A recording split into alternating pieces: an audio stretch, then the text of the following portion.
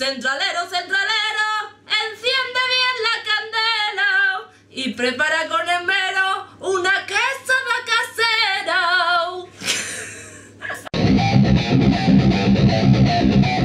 Bueno, pues como ya sabéis, el tema de esta semana es un día en la cocina. Obviamente yo no me tiro todo el día en la cocina, y tampoco cocino mucho últimamente porque como fuera de casa y cuando como en casa son macarrones, que es algo fácil, rápido, sencillo y para toda la familia.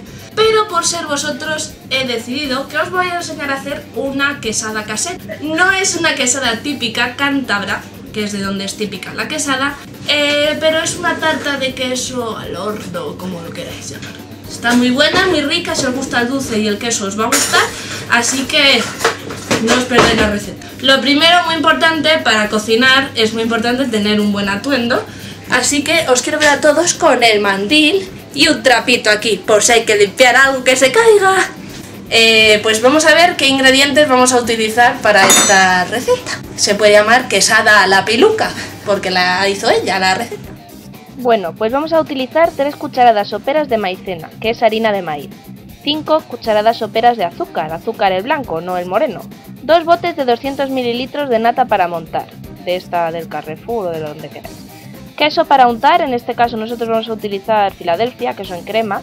Eh, mermelada, esto es un poco al gusto, ya lo iréis viendo al final de la receta. 3 o 2 huevos, dependiendo del tamaño que estos tengan. Un bol para hacer lo que viene siendo toda la mezcla el recipiente donde finalmente pondremos nuestra quesadita, que rica, una batidora, mira la que bonita, con un botón naranja, que chula ella, un tenedor, eh, ay, ay, dale, eh, eh, eh, eh, y una cuchara, sopera, claro, mira cómo le da vueltas, y un horno, sí, lo del horno es bastante importante, si no tenéis horno, mal. Bueno, lo primero de todo es lavarse las manos, así que ir a lavaros las manos. Lo siguiente que hay que hacer es poner a precalentar el horno a 180 grados. Así que ponemos tiempo y vamos a 180 que más o menos estará por ahí. Y vamos a empezar a hacer la masa. Primero echamos los tres huevos. O sea, uno, dos y tres. Para esta receta lo más importante es saber contar. Cogemos el tenedor y bate que bate el huevito. Mira qué bonito. Queda naranjita, ¿eh? Cuando ya esté todo un poquito batido, no hace falta batirlo mucho. Echamos lo que viene siendo la nata para montar. Un bote, mira cómo lo abro, qué arte tengo con la tijera. Y otro bote. Vale, ahí, todo bien exprimidito. Cogemos el bote de queso, viene siendo la tarrina, y lo echamos todo. Ahí, sin contemplación, que no quede para otro día. Ahí, rebañando bien. Y bueno, si no podéis, pues cogéis el dedo, lo untáis y lo chupáis. Ahora cogemos la maicena, eh, recordar que eran tres cucharadas soperas, mientras abrimos la la la la, una, dos y tres, en abundancia, ¿eh? Y el azúcar lo mismo, uno, dos, tres, cuatro, cinco. Hala, ya está el azúcar también echado, ya lo tenemos todo, cogemos la batidora y bate que bate chocolate, no es chocolate, es quesada, pero da igual, bate que bate. Ahí, que no queden grumitos, que se mezcle bien el queso, la nata, todo, todo. Y lo probáis y si os gusta de dulce, pues ya está hecho. Lo echáis en el recipiente y ahí rebañarlo, rebañarlo, que no sobre nada. ¿Para qué lo vamos a tirar si se puede usar? Y lo metemos al horno unos 20-30 minutos. Ahora veremos cómo va. Pues ahora mientras nuestra quesadilla está en el horno, vamos a llamar a la mamá. Cariño, por he echado de menos dos semanas sin saber de vosotros. Momentos musicales patrocinados por Mamita Fashion Fibe. Yo sé bien que estoy adentro, pero el día en que yo salga, me iré para la central. Central, central. Me encontré por un camino a un chacmaquito que dijo, lléveme a la central. Con cariño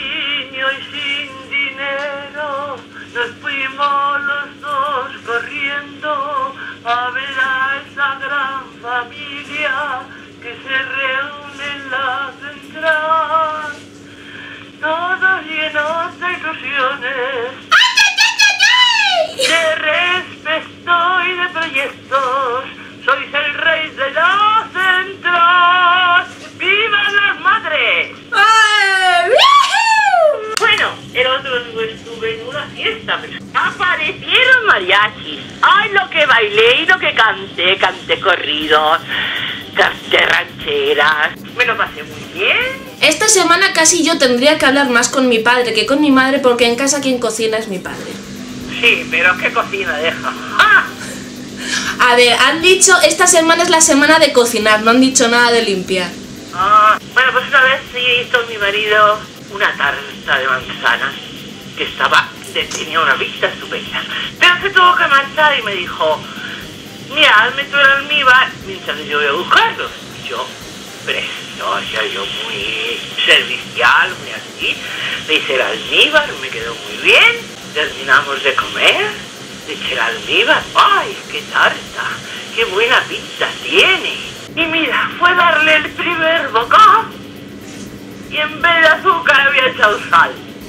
No había quien se la comiera. Dios. Cosas que solo le pasan a mi madre. La típica broma de, ay, a ver si vas a confundirla el azúcar con la sal. Pues mi madre lo hizo. Que os quiero mucho. Cada día sois mejores, habláis mejor y tenéis mejor vocabulario. Un abrazo para todos. Continuamos con la receta y para saber si ya está hecho el bizcocho metemos un cuchillo. Si sale sucio es que no está y si sale limpio, como va a salir ahora que voy a meter el cuchillo, ¿eh?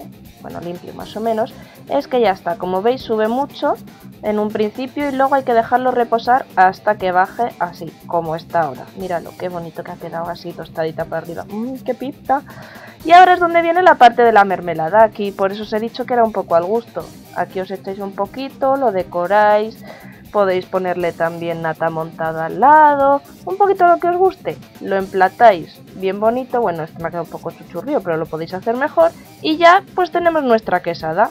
Pues yo ya me despido hasta el lunes que viene, recordando que nos podéis encontrar en Facebook.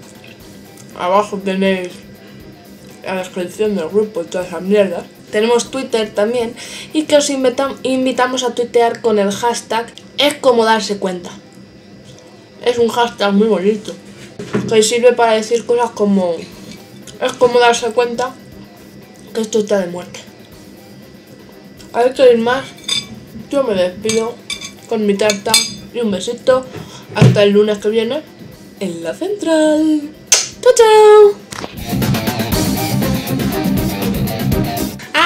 Y os, in- os invito a todos a hacer video respuestas haciendo vuestras quesadas y las pongáis como video respuesta a este. Quiero ver lo cocinillas que sois. Oye, pues habéis visto, trabajadora, sé cocinar, es que estoy en edad de merecer. A ver si me caso, ¿no?